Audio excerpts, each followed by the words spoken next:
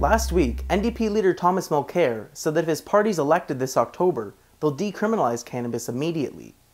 At a campaign event in Vancouver, Mulcair said, I want to make sure that everybody understands that the NDP's position is decriminalization the minute we form government. When asked why he supports decriminalization over legalization, as the Liberal Party is proposing, Mulcair said that it's simply the NDP's long-standing policy. He said the NDP has had the same position for about 40 years. Decriminalizing marijuana is the position of the NDP, it's my position, and it's something that we can do immediately. While Mulcair and the NDP's policy of cannabis decriminalization is a step in the right direction, and far ahead of the Conservative pledge to increase spending on cannabis enforcement, it is far from ideal.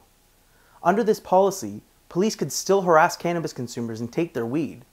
Not only that, but cops could ticket cannabis users caught with the plant, a tactic proposed by the conservatives and chiefs of police, but never implemented. So while cannabis possession would no longer be considered a criminal offense, a new hidden tax on cannabis consumers would be created. What makes the NDP's policy more objectionable is that Mulcair has promised to spend millions putting 2,500 more police on Canadian streets. This means even more tax dollars spent searching for cannabis users to ticket. The only way to create jobs, tax revenue, increase tourism, decrease enforcement spending, rein in the black market and organized crime, and stop the stigmatization of cannabis users is to legalize the plant. The only parties currently willing to do the right thing and legalize cannabis are the Liberals and Greens.